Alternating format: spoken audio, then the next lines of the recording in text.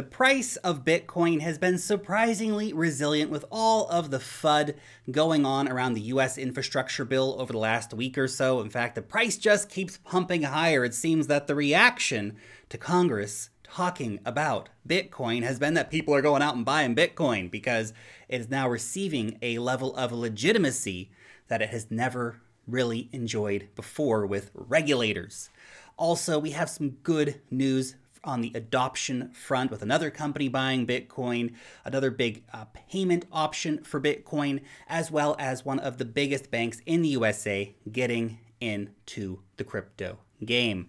My name's Lark. Every day I make videos talking about cryptocurrency investing. So if that's a topic that you would like to learn some more about, make sure that you subscribe to Lark Davis channel. Gently tap on the thumbs up button just for the YouTube algorithm, and click on the notification bell to know when I put out a new video. So let's go ahead real quick and take a look at the charts to get started off with here.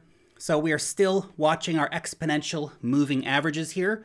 So we can see the uh, 50 day is getting very, very close to the 200 day right now. It looks as if we are going to see a bullish crossover for these exponential moving averages, potentially around the weekend, unless something very, very, very dramatic happens to the price. That is exactly what's going to happen. This just really is a confirmation of the bullish action that we've been seeing in the market. So I'm excited to see that. I hope we uh, hope it you know nothing dramatic happens and it is going to play out um, approximately by the weekend here coming up.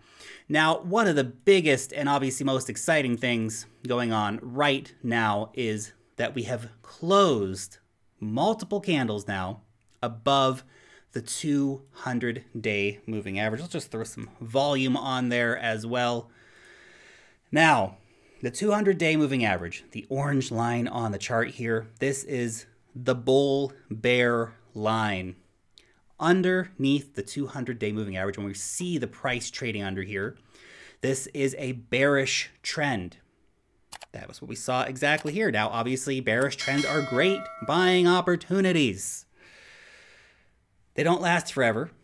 Some people think they last forever. They don't last forever. Bearish trends are bearish trends. You have to take advantage of them when they happen. I hope you guys did take advantage of that when it was going on. And now, of course, we saw a great, great price recovery coming in here for Bitcoin, absolutely raging higher. And now we are above the 200 day moving average. We closed a candle above it here. We closed a candle with the complete body close above it here. And now, of course, we are working on our third candle close above the 200 day moving average. Obviously, I really want to see this line hold. Now, it may not hold. We may see the price come back down under. This first attempt at a strong breakout above the 200 day moving average you know, it, there's a possibility we could see a price retracement coming in here. And I would love to see that personally. Add some more Bitcoin on. You know, it's just uh, me being me being selfish. I want more Bitcoin dips. Give me more Bitcoin dips. Didn't buy enough. Didn't buy. I bought a lot. I bought enough. Let's just put it that way. But um, regardless, I really, honestly, to be honest, I want to see the 200 day moving average hold as support. I want Bitcoin to establish support here. I want to see the price pushing higher. That is, I think, a very good thing for the market. So this is our critical line right here. Let's hope the volume picks up and that we do manage to hold over the 200 day moving average. We do have that EMA cross coming up, which weirdly, when we do have those bullish uh, EMA crosses, we actually tend to get um, a bit of a sell the news kind of effect. So we'll see how that plays out. But um, I think the market is looking fantastic right now. $50,000. It's only a few percent up from here. And uh, just to give you a bit of perspective here as well, the all time high for Bitcoin, it's really not even that far away at this point. You think about, of course, how far we've come for the price recently, and we're really only about uh, 20, uh, 29% down from the all time highs right now, which is, you know, for Bitcoin, that's not that crazy at all. By the way, if you want to buy some Bitcoin, buy some Ethereum, buy a great range of different altcoins, Binance is the best place to buy and sell cryptocurrencies. Of course, it's a great place to be trading cryptocurrencies, whether on spot or on futures markets. But you can buy cryptocurrencies over on Binance using more than 50 different fiat currencies, which makes it available to a wide range of people, except uh, for US investors, unfortunately. But if you want to start yourself an account over on Binance, use the link down below in the description. You'll get 10% off of your fees and up to $700 in trading bonuses when trading futures over on Binance. Now let's just dig into the news here. The Senate has approved the bipartisan infrastructure bill in a historic vote. No amendments were put into the Senate's version of the bill. That means that the original wording of the cryptocurrency provisions, the ones uh, cooked up by Janet Yellen's Treasury Department, that's what's gone through. That's what's in the bill. That's what's getting passed now over to the House of Representatives.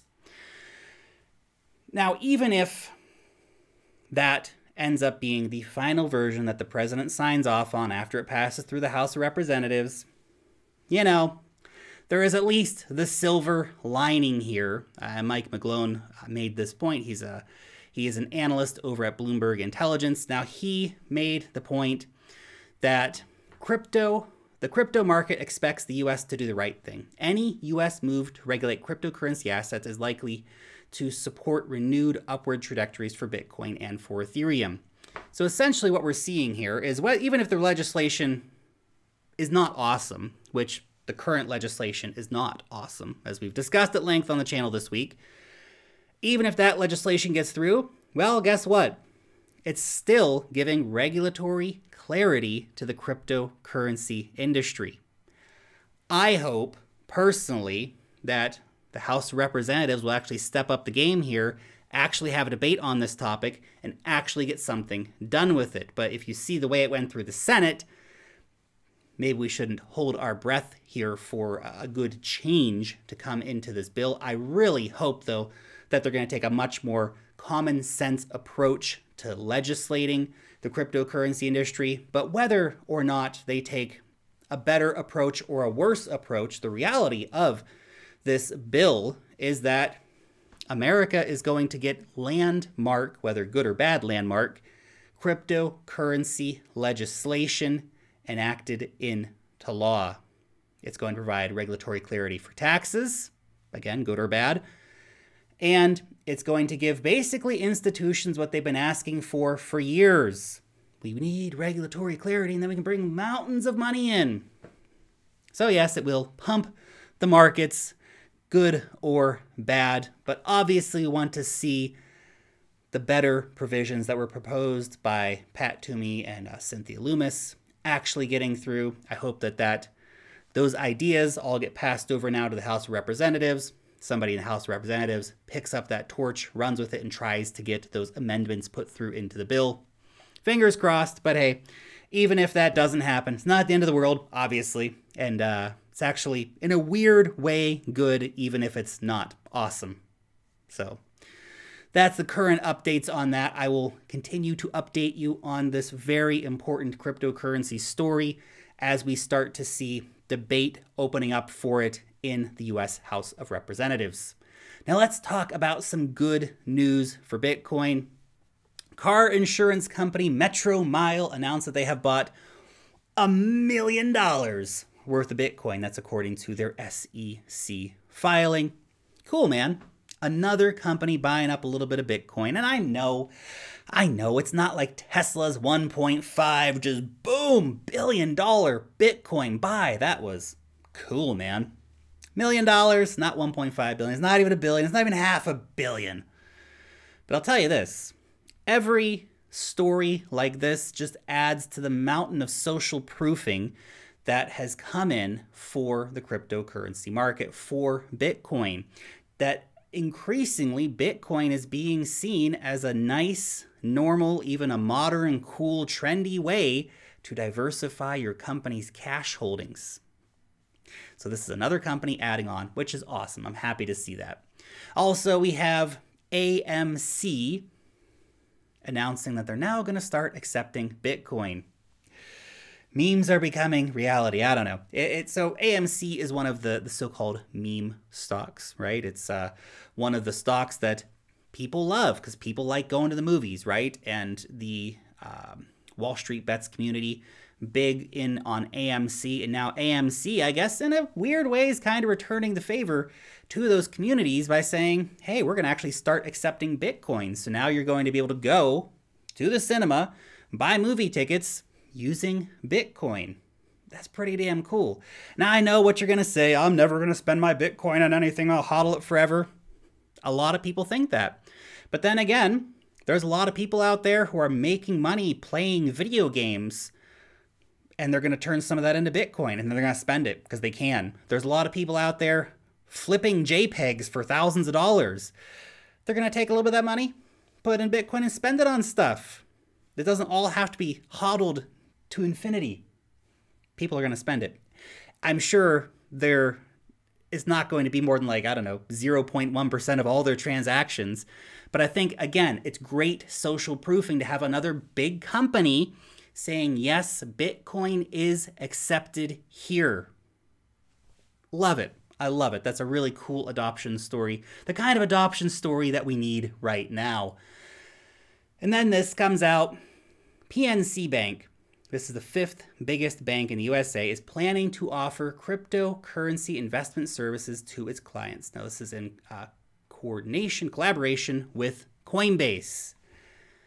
Incredible, incredible. Man, this is just so nuts what we've been seeing.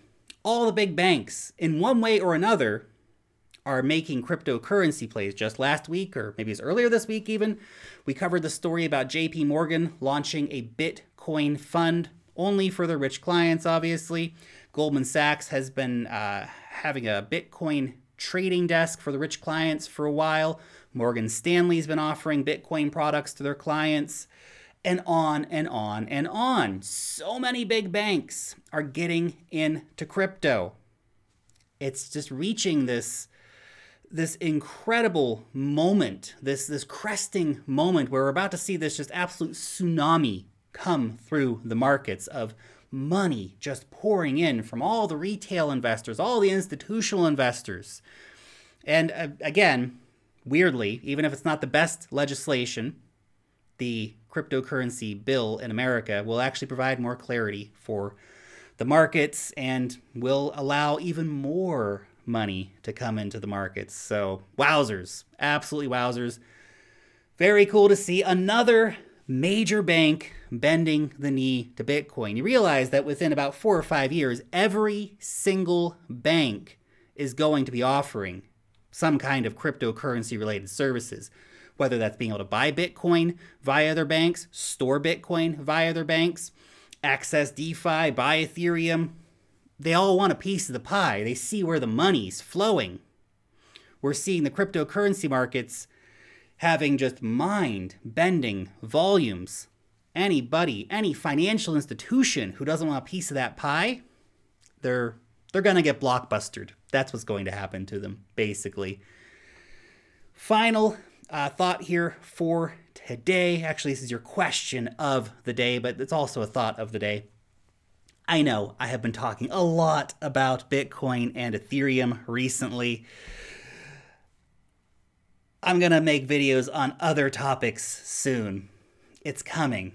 It's coming. I've got a video on Terra's Luna that I want to do. Uh, it's a very interesting asset, and I think should definitely talk some more about that. Polkadot, I have not forgot about Polkadot polka dot bag still sitting there. In fact, I bought some more Polkadot during uh, the big dips a couple weeks ago. And I've also got a low cap gem video coming up for you here in the not so distant future. So keep an eye out for those. But your question for today is let me know any topics that you would like to see covered. You know, those burning crypto questions. Lark, what about this question or that question? Let me know that down below here in the comment section, or you can come over here on Twitter and I'll leave your question there as well. Or maybe there's a coin you really think I should be paying attention to. I'm not paying attention to. It needs to be on my radar. You can let me know that as well. Anyway, thank you so much for watching today's video. I hope you're having a great freaking day. Long live the blockchain, just for old time's sake. And peace out till next time.